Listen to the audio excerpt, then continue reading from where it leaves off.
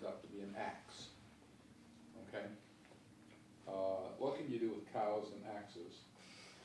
Meat. I guess you can slaughter the cows. You can't do much with the milk. There's not much you can do, right? Suppose instead that you've got lots and lots and lots of things coming out of the grounds and lots of production technologies. Then the chances are good that you can take the wheat that's coming out of the ground and, uh, um, grind it up into wheat flour, and you can add some water and you can make a pie crust in the first period. But you could also take some milk and you could make some ice cream in the first period. Let that time come, discrete moments, okay? Then in the second period, you could put the ice cream into the pie crust and it invented the ice cream pie. Okay? Okay. So, um, so in this plot, there's a curve that looks like this. It's a hyperbolic curve. And down here, not much happens. An example is Ethiopia. What are the Ethiopians doing? Well, they're growing a lot of coffee and selling coffee beans on the world market. Correct? And they're farming, except that they're selling their farmland to the Chinese. Above this hyperbolic curve, you make new kinds of goods. Now here's the essential idea. As you make new kinds of goods, you can combine them in new ways to make still more new kinds of goods, right? So think about the, air, the, the Wright brothers airplane. It's a recombination between an airfoil, a light gas engine, a propeller, and bicycle wheels. So the more things you got, the more ways you can stick them together, right? So this leads to the idea that the diversity of production technologies and the diversity of goods and services in the economy can lead to an economy that keeps generating an explosive growth of new goods and services and new production technologies. I mean, for example, we used to make tools by flaking them. Now we've got machine tools that make tools, right? So we invent new production technologies. So I call being below the curve a subcritical economy cannot generate an increasing diversity of goods and services. And above it is a supercritical economy that can. That doesn't have budget constraints in it yet, okay? But if you put budget constraints in it, you aren't getting more or less the same thing. So let's ask about the global economy. Are we generating, modulo the mess we're in, are we generating an increasing diversity of goods and services? Sure. So somehow the economy got itself from being subcritical to supercritical, the global economy, by gradually inventing new production technologies.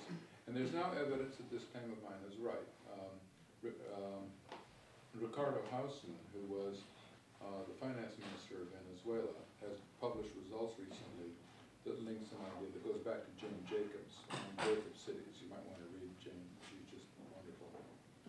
She argued, I argue, and he's found evidence that as you increase the diversity of goods and services in an economy, and if you increase the diversity of production functions, you increase wealth and growth. So what I've told you is sort of right, although we still don't know all the details, okay? Now, let's suppose that that's right. It looks like it's right. Then what's gonna happen? Well, we're in a supercritical economy in a bad slump right now. So leaving out the slump, there's going to be a continuing explosion of new goods and services. I mean, just think what's happened in the last ten years on, on, online and with, with twitting and Facebook and, I don't even know what twitting is exactly. but- Tweeting. It's not, it's not twitting. I don't, I don't know. I don't, but, but I refuse to find out. So, so, so against the press of a finite planet, there's gonna be more goods and services that are gonna roll forth. Why? Well, because people can, and I, I have a notion of the adjacent possible that I wanna get across. Once there was a web, selling things on the web was in the adjacent possible. Okay? Once there was a lot of content on the web, search engines to search the web was in the adjacent possible. The economy keeps advancing into the adjacent possible. So does the biosphere. So does culture. Uh, and it's a sort of simple idea, and then you start thinking, gosh, it's true. it really happens. So there's some funny sense in which the adjacent possible is getting larger and larger and larger as we make more and more things. There's more and more opportunities to make yet more things. The adjacent possible is like a house. When you enter it, you go through a door into a room. It turns out that there's a door into another room. Then you go through that, and then there's a door into another room. And you keep rooms keep being added on. It's true. We all actually know it's true as soon as I say it. It's true. So in a supercritical economy, um, the, the adjacent possible is exploding. Now let's put that together with a finite planet and the need to be sustainable, which is your primary responsibilities, and all of the stuff that I've tried to say. Now what's our task? I'm gonna end there and then we'll start the discussion. Um, what pathways do we have? First of all, there is a power structure that we can't ignore. Uh, and if you think it's benign, you're nuts. Okay, it's not. Power structures are out for their own power, and they have been. I mean, the Romans showed that to us some time ago, and Marx was right. Power wants to maintain its own power. Um, and it's, it's extraordinarily powerful in the United States. It owns the media, uh, it owns, it, it half owns Congress, uh, Only half? or, or all. So, so that, that means, And you're that, implying there that Congress is not power. oh, Congress is power, but the extent to which what they're doing is reflective of the power interests of the large corporations and the banks and so on, as opposed to the interest of the guy in the street who just got his, who just got his, uh, who just got, you know, thrown out of his house because he can't make the mortgage payments. Where, where do you think the interests lie? Well, it's pretty clear, right? So that means that we can sit around and study this all we want to, but unless we come up with some kind of viral marketing plan that's gonna transform things, it isn't gonna work. It's not gonna work. So that's first and foremost. So we have to have a plan for we the people. And, and roughly speaking, we have to take back the country for ourselves. I don't know how to do it, but we've got to. I think there's glimmerings of things starting to happen around the world, um, among we the people. That, that, that there's, that, that, everybody's becoming kind of aware of, of this, and we're all aware of it. I'm not telling you something you don't know. We all know, the question is, is now what? Next thing is, we really have to do something about poverty. I think that this subcritical and supercritical thing I told you about is a main driver of economic growth. And the World Bank doesn't know it, and the IMF doesn't know it, assuming that they care about world growth and not just kind of getting countries in debt so that they pay their debt like credit card holders. Um, and maybe if we made use of these ideas, there would be ways in which we could abet growth in sub-Saharan Africa. Um, the next thing is, we can't keep growing in a way that keeps using resources. That's what your main task is.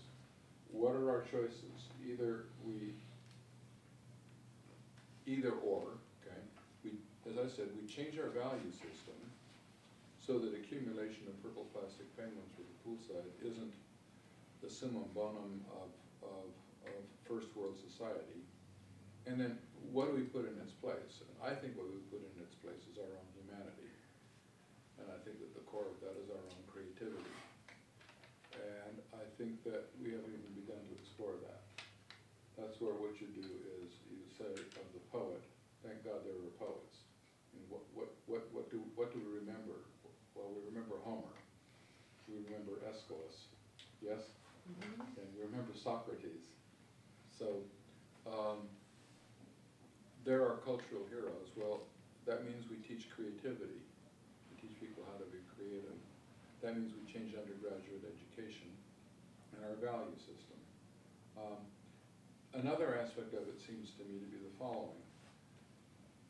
We, um, instead of producing as many new goods as we are, uh, we load up all of our old sofas into container ships and take them around the world and have, have, cheap sales of them, so that we'll just read, it. I mean, look, look at an antique shop, okay, where you go and you buy antiques.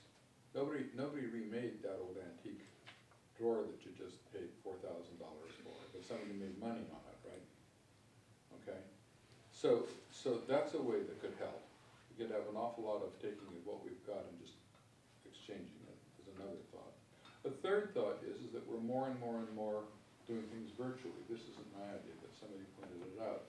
Who knows how many ways there's going to be of making money on things like the web, which is relatively friendly with respect to impact on the environment. And the fourth thing is, we need a notion of enough. We do not have a notion of enough. Well, maybe we can give that up. Um, it's not obvious that that was true when we were hunter-gatherers, we shared everything, so maybe we can have a different society. So with that, I'll stop, that's enough to be of interest to everybody,